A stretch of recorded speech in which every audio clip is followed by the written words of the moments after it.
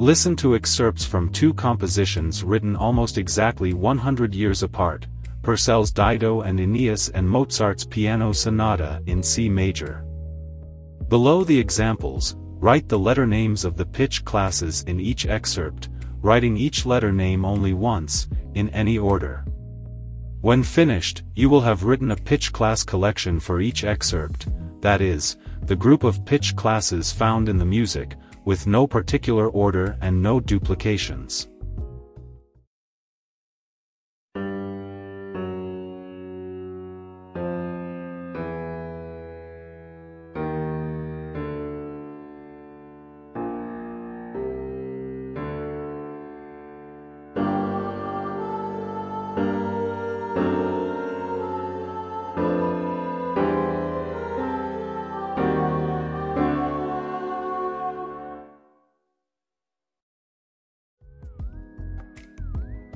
The Purcell passage includes 10 of the 12 possible pitch classes, two more and it would constitute a complete chromatic collection.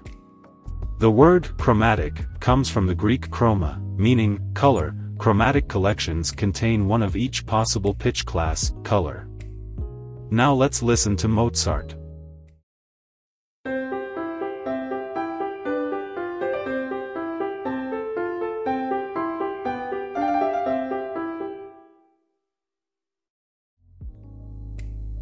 In contrast, the Mozart excerpt features only seven different pitch classes, these form a diatonic collection, seven different letter names in a particular arrangement.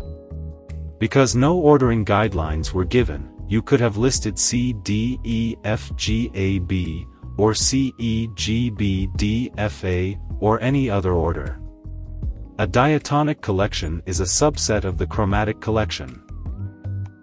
Now we are ready to talk about scales.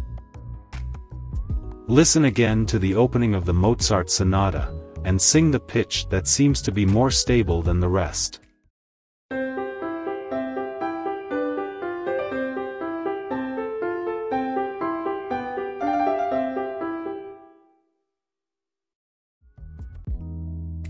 This pitch, C, provides the foundation for a special type of diatonic collection called a major scale.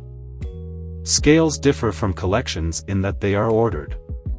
When you play or sing a scale, there is a beginning pitch and an order to the notes that corresponds to the musical alphabet, in this case, C D E F G A B C, the pitches of a C major scale. Similarly, when the chromatic collection is ordered, it becomes the chromatic scale, made up entirely of consecutive half steps. In musical works, composers may include only a segment of this scale. A descending chromatic segment often colors a slow, sad movement, like Purcell's aria. Chromatic passages may also appear in showy music as a decorative or virtuosic element. For an example, listen to the trio section of The Stars and Stripes Forever.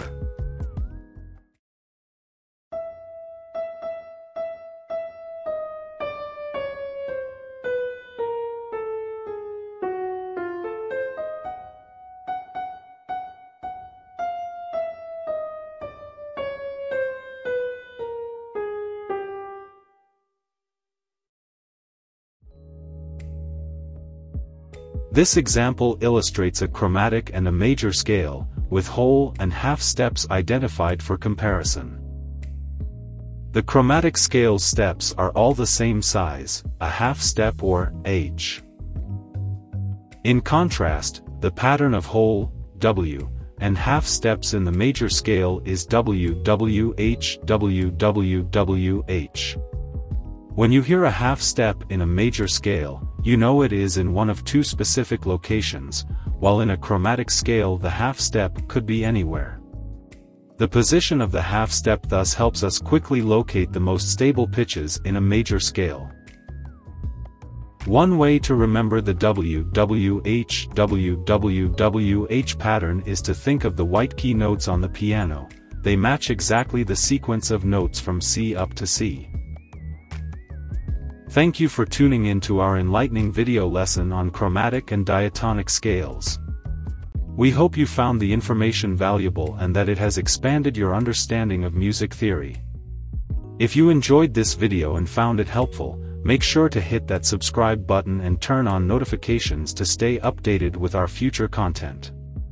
We're dedicated to bringing you more engaging and educational lessons on various aspects of music theory and composition. Remember, the world of music is vast and filled with endless possibilities. By subscribing, you'll never miss out on our upcoming videos that can inspire and guide you on your musical journey. Once again, thank you for watching, and we look forward to sharing more fascinating insights with you soon. Keep exploring, keep learning, and keep making beautiful music.